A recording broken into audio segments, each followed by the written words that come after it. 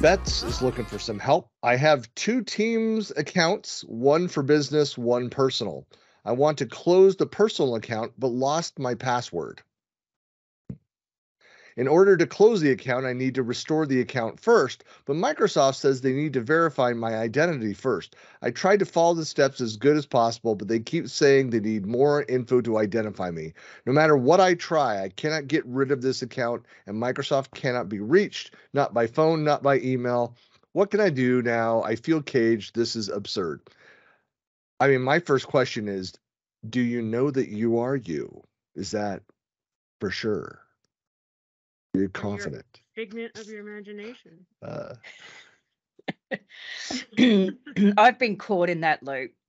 You know, uh, actually, not well, not so much me, but I've had family members caught in that loop. Many of them, unfortunately, not all in the young space, of course. it's the more the, the older. And half the time it's because they've changed their email address. They've kind of shopped and they're moving around and then they're they're kind of done. So they're caught in a loop. It's like too bad, so sad. I'm sorry.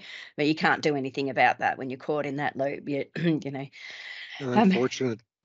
Unfortunately, there's a lot of little gotchas in there. You can have Yeah. an email account that you no longer use.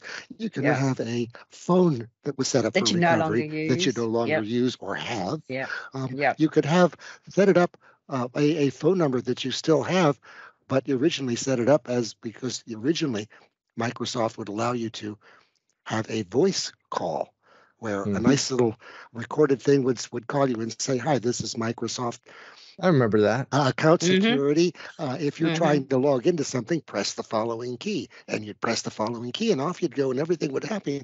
I had one of those, and it was just by luck that I happened to catch the fact that they had changed on uh, my my account page. They say we're now saying we're going to send a text to that phone number. It's like, no, you're not. Mm, Uh, you can't Mm. do that because that phone won't work with a text. So you have to Mm. change that. So there are a whole and the, the big thing with people, they got to go back in and and and and remember to look at these factors.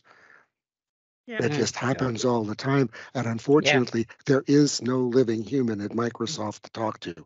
If you Mm. can't go through the account recovery, then you're lost because there Mm. not a human. They can't get in and do anything. Specifically, we're talking here about an Outlook.com account or the like. Mm. They can't do a Mm. thing. So, Mm. That Something that scares I- me to death. yeah. So something that I have done. So one, you should always make sure you're filling in all the potential options for backup recovery. Some people just Absolutely. as well. so Mm. most people just do one and say they're covered. I tell them to do them all. You never know, right? Mhm. Two, because he has a business account, if he's an admin and has the ability, I have had a user submit through their business account, so the support ticket through Microsoft, because it's another piece of identity that they could tie them to, and they looked up his personal account and got it fixed for him. Mm, That's good to know. I like that one. Yeah.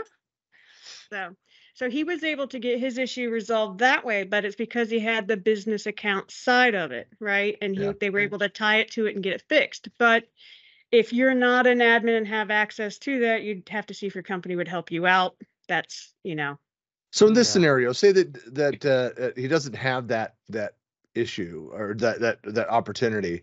I mean, what can you do? I mean, stop payment on that uh, that that card basically to to get it so Microsoft then has to shut it down. And that's hard to do too. I found out Mhm. looking at around it when I was Mhm. examining this problem.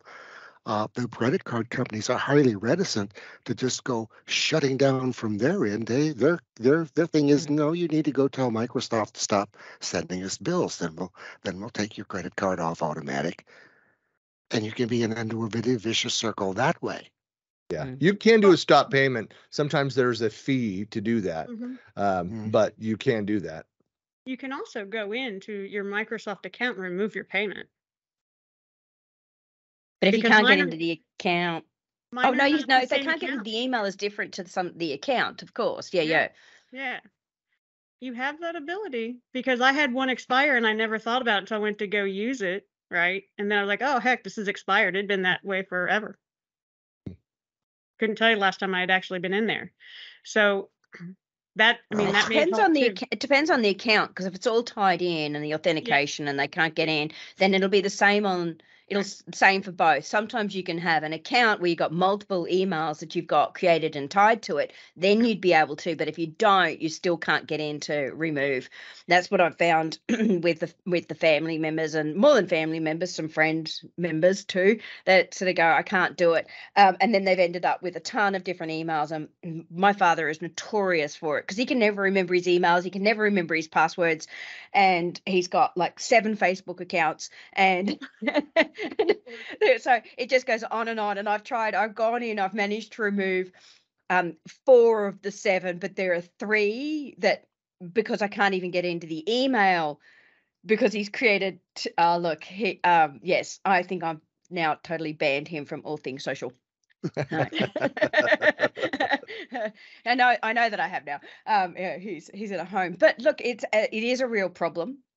Without a doubt, it it is a it is a problem because there's no way ultimately if you call it back, you just have to walk away unless it's removing payment, and then you have to find other ways. But yeah, Yeah, so if any of those help, yay, Yeah. but they may not, just depends. Yeah. Well, I mean that that and that, that suggestion too. I mean, look, that is the final answer. It's probably not the the best, but to to go and stop the payment on that, and that that'll stop it. That'll get somebody at Microsoft when when payments cease to uh to reach out. So, um, but I mean, it's it's your money, so you ultimately do have control over that, but you will likely have to pay a fee.